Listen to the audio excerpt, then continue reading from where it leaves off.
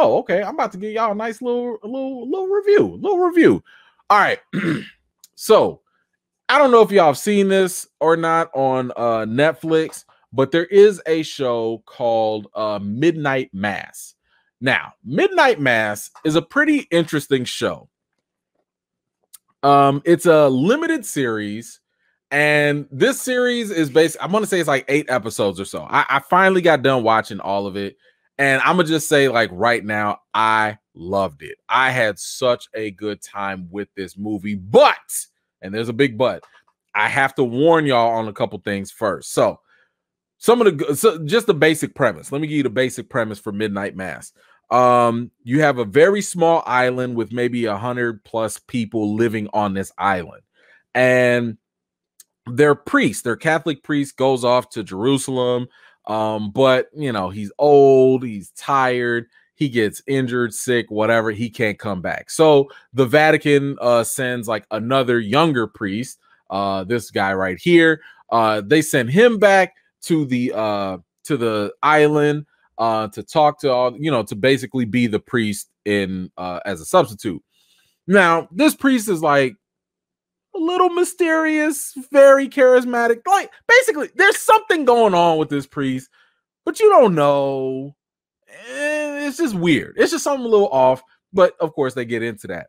Um, but you know, you also get into all these other characters, um, and you start to learn about all their backgrounds and stuff like that. Now, here's what I need to warn y'all about. First of all, you're gonna hate this chick because she is annoying. I don't like her. Somebody need to smack her. Don't like her. That means she was a great actress because you really will not like her. She, man, listen, don't like her. But what I wanted to warn y'all about, because this was the one thing I did not care for too much, it's very heavy with the dialogue and exposition.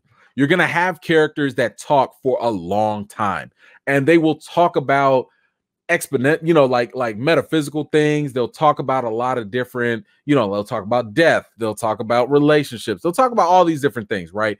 But the warning I have to kind of tell you guys is because it's eight episodes, it's a it's a contained story. There's a beginning and there is an end. Um the first two episodes are super slow. I'm letting you know that I'm letting you know that right now. They I was about to quit on the third episode. I was about to be like, I'm done with this. But the third episode, the ending kicks it up a notch. Then you get into the fourth episode, kicks it up another notch, and then you off to the races. You off to the races because then it just is like, yo, what is this stuff going on? But the reason, even though it's slow in the beginning, even though it is slow in the beginning, um, all of it is important. Why? Because what it's doing is it's building up the characters, it's building up the stories. Um, because at the end of the series, all of those things will wrap up. All of those things will have meaning. So when they sit here and talk about this person's background with, I don't know, addiction, you know, uh, alcoholism, whatever, that stuff, it might seem boring now, but it'll make sense and pay off later. So that's the real heads up I wanted to give to you. Um, my the now, of course, you already know I went to seminary school. You know, I'm, I love horror movies. This is horror plus religion, and not just Christianity. It's horror plus religion. Um, I, I think the other warning I would try to give people is this movie, or I'm sorry, this show does not prove or disprove anything about religion. So it's real easy. Let's say, for example, you are an anti theist. I'm not saying an atheist, someone who just doesn't believe. I'm saying someone who hates religion, you against religion and all that, right? If you're an anti theist, this series does not prove why religion is so bad. If you're super religious, right? Uh, so you you you the Bible thumper, you the you the whoever you you talking about whatever God or you know spirituality you believe in uh, to a stranger on the street. This also does not prove anything either, right? So um you can go. I would advise that if you watch it, you watch it with an open mind. Um, it's not meant to change your mind or anything. And the one thing I would say, if I had to like really analyze this, is This is more of a critique on the human psyche. Um, a lot of the things that they talk about, a lot of the things that they interpret, a lot of the ways that they go about things are just human. It's not about, well, this religion made them do this or this non belief made them do that. No, no, no, no.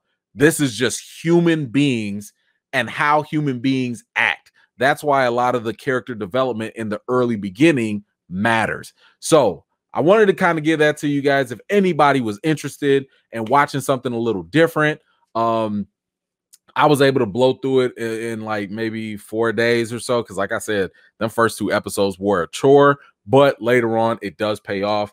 Um, I don't want to reveal anything else. I will just say that things will not always turn out the way you think they will. I every time I was sitting there, I was like, oh, that gonna happen. Oh, y'all went there. Oh, okay. Well, then that's what's gonna happen. Oh, y'all change it up. Oh, listen, watch it. Let me know what you think about it.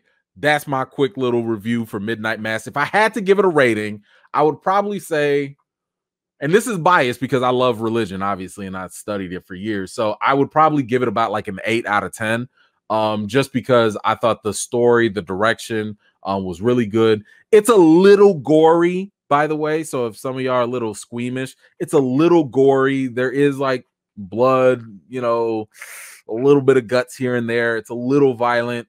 Um, I wouldn't say it's scary to the point where it's like jump scare scary, um, but it's more so eerie. It's more eerie.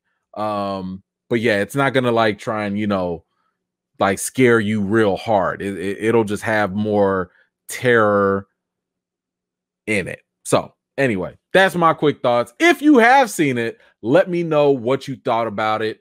Um, I'd really like to, I love to see if anybody else actually saw it and what y'all think about it. Um, but I did want to kind of give y'all just a quick little review on Midnight Mass. If you're interested, if you like the the the religion and horror side, like if you like horror movies and religious stuff, this is it. I listen, I thought this was nice. Uh, but yes, thank you so much, my man Derek.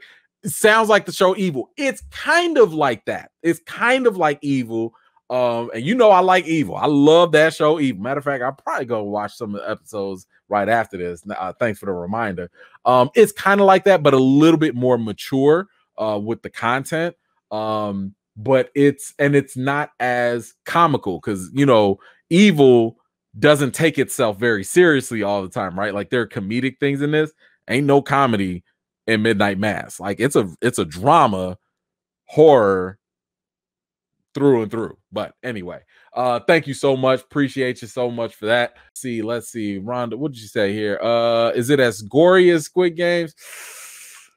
Kind of, kind of, because you know, Squid Games wasn't like super gory, but kind of. I mean, you know, like people get cut, blood comes out, stuff happens.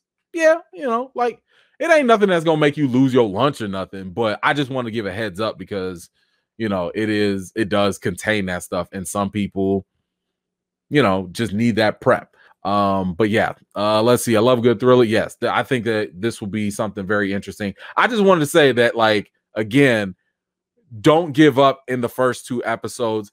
If the end of the third episode does not capture your interest to keep watching, then you can give up. Um, but make it at least up to the third episode um, because that's when they start to reveal more stuff. You start to see more secrets and more truth, and that's where stuff really starts to get interesting. So, um, again, I like to see what y'all think uh, when you eventually get a chance to check it out. Thank you so much for watching. This was just a segment of one of my live chats, and if you're interested in joining in on the next one, be sure to subscribe and turn on your notifications for more. I've got more videos and reviews to do for you all, and until next time, I'll see you all later.